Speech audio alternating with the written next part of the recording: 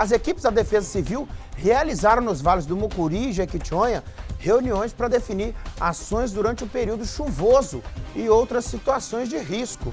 Ontem foi em Araçuaí e hoje de manhã foi em Nanuc. E o Fantoni Penso vai contar isso para aí.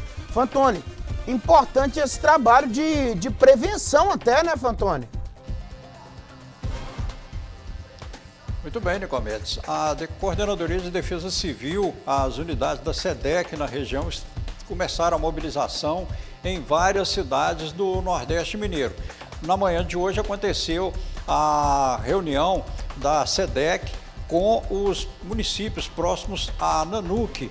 E aí os, as autoridades estão discutindo as formas de evitar inundações, enchentes, o socorro às vítimas, principalmente da população ribeirinha, delimitar as áreas de risco, verificar aquelas pessoas que estão em, em, áreas de risco, em situações que, em caso de uma chuva, possam causar algum problema. Então, essa reunião foi realizada em Nanuque, lembrando que a cidade de Nanuque, Nanuque, Carlos Chagas, uh, tem, são, são cortadas é, por, por, rios, no caso de Nanuque, a situação quase divide a cidade, Carlos Chagas passa próximo ao centro da cidade. Então, o que os prefeitos estão discutindo, Serra dos Aimorés, é, Justa Águas Formosas, o que está se discutindo é justamente medidas preventivas para evitar os problemas para que, se acontecer, evidentemente, como aconteceu no final do ano passado, início deste ano, chuvas torrenciais como nunca há muito tempo não se via, o que fazer, como fazer, para onde ir,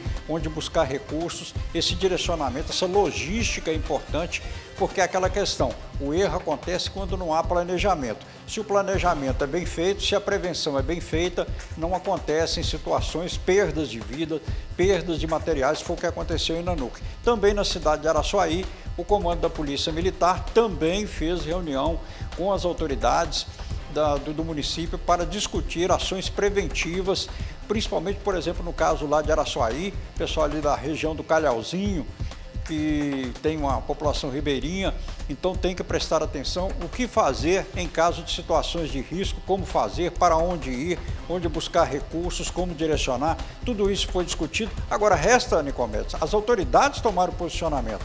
Agora vem aquela pergunta, o cidadão vai fazer o quê?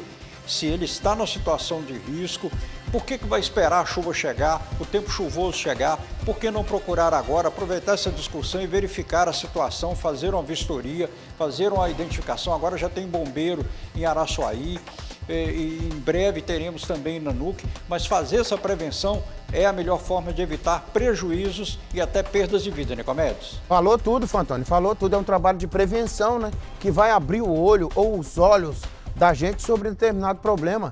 Tá, tá, tá certinho a Defesa Civil e obrigado por essa cobertura aí, viu, Fantônio Peço? Você e Vitor Cui, eles são muito preocupados com os assuntos lá do Jequitinhonha e do Mucuri, né?